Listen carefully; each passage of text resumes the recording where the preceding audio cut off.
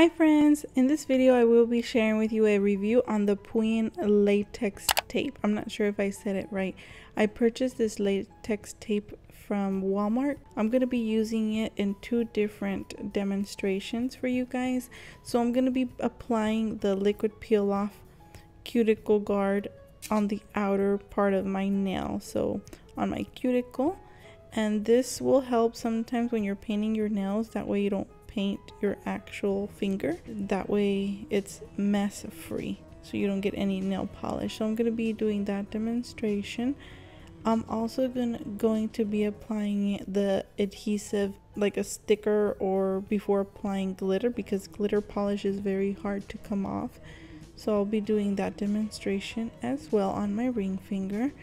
I wanted to share with you guys both of these demonstrations that way you kind of get the idea to see if this product actually works. So I purchased uh, an adhesive like this years ago from Sephora. It was pretty expensive and it dried up very quickly so I wanted to try this one from Walmart. I already applied a base coat. Now I'm going to be applying a nail polish and I'm just going to be doing a quick nail design for you guys. That way um, you guys can see if this adhesive will come off or if it really helped. For my ring finger, as I mentioned, I applied the adhesive on my nail bed. Now I'm going to be applying several coats of glitter polish. That way, I'm just going to wait a little bit till it dries. Pointer finger, I did this design with some balloons. I removed the adhesive and it came off pretty well.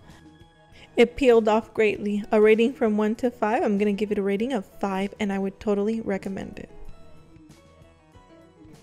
I did have a little bit of difficulty removing it with the tweezers. I'm not an expert at removing this since this is the first time that I try this product, but I think it peeled off great. And for the glitter one, I should have left the nail polish a bit longer, which I didn't. So it still needed some drying to do, but it peeled off great. I think with both demonstrations, this liquid tape worked very well. Thank you guys so much for watching. May God bless you all and I will see you guys in the next video.